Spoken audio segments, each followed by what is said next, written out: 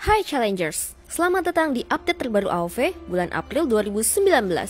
Pada update kali ini, pihak pengembang akan memberikan pembaruan konten dan juga melakukan optimisasi fitur yang ada agar pengalaman bermain AOV kalian semakin menarik dan menantang. Mari kita simak informasi lengkapnya berikut ini. Update 3v3 Game Mode Pertarungan 3v3 kini semakin menantang dengan buff baru bernama Soul Taker Buff ini akan memberikan kalian pemulihan 20% max HP dan 15% max MP ketika berhasil membunuh lawan. Tak hanya itu saja, buff dari Garnak juga mendapatkan penyesuaian lebih lanjut untuk menjaga keseimbangan di dalam game. Beberapa fitur baru pun ditambahkan ke dalam game mode 3v3, seperti tower dan base yang lebih kuat di early game, penambahan healing rune yang bersifat area, hingga skill shield yang akan aktif ketika HP base tersisa 20% di 3 menit awal. Perubahan di dalam game mode ini tentu akan membuat challengers harus bisa menentukan strategi terbaik untuk mengalahkan lawan-lawannya di dalam game. Skin komponen Kehadiran skin komponen memberikan variasi baru di AOV dengan menghadirkan beragam aksesoris lucu dan keren. Kalian bisa mengubah tampilan karakter kesayangan kalian menjadi lebih imut dan keren dengan mengganti tampilan senjata, warna rambut, ataupun menambahkan aksesoris sesuai dengan keinginan kalian.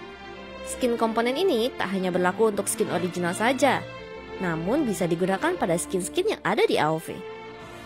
Update Report System Sekarang, para pemain diminta untuk berperilaku lebih baik karena sistem report yang lebih baik.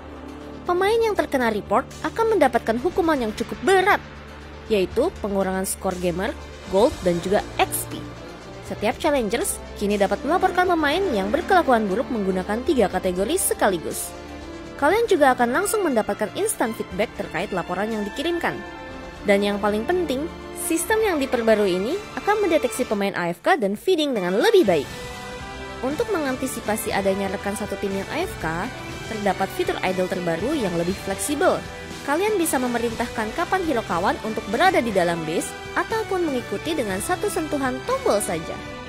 Fitur ini akan muncul setelah kalian mendapatkan notifikasi yang memungkinkan challengers untuk memberikan perintah terhadap hero yang AFK. Dan demi meningkatkan pengalaman bermain yang lebih baik, kini terdapat fitur Fog of War yang bisa kalian temukan di dalam menu setting.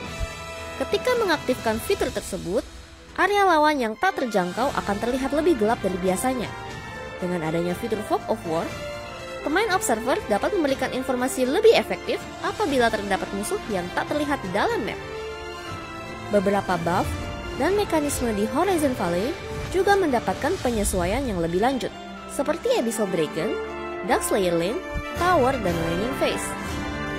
Ketika rekan satu tim kalian berhasil membunuh Abyssal Dragon, setiap hero yang berada di dekat Abyssal Pit akan mendapatkan buff baru bernama Blood of the Dragon.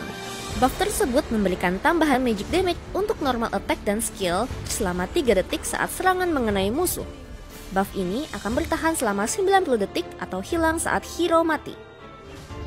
Base Gold Abyssal Dragon juga mengalami pengurangan menjadi 50 gold. Pertumbuhannya pun akan berkurang sebesar 5% setiap 30 detik.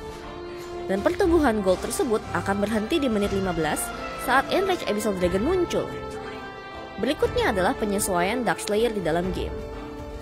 Kini Dark Slayer akan muncul di menit ke-7 dengan interval 3 menit untuk mengatasi permasalahan Drake yang dirasa terlalu lemah saat memasuki late game.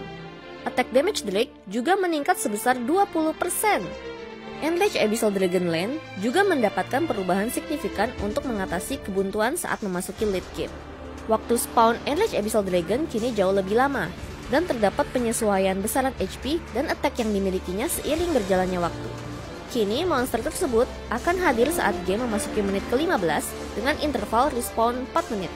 Durasi buff Enrage Abyssal Dragon pun kini jauh lebih lama, yaitu 3 menit. Efek Abyssal Curse juga dihilangkan. Peningkatan movement stick grip saat landing phase kini hadir saat game memasuki menit 10. HP awal dan gold reward dari enhanced melee unit juga akan mendapatkan pengurangan. Enhanced Melee Creep tak lagi muncul di awal wave 10. Terakhir, terdapat penyesuaian hero dan item untuk menjaga keseimbangan di dalam game pada AoV New Update April 2019 ini. Apakah kalian sudah tak sabar untuk menantikan update terbaru AoV? Langsung komen di bawah ya.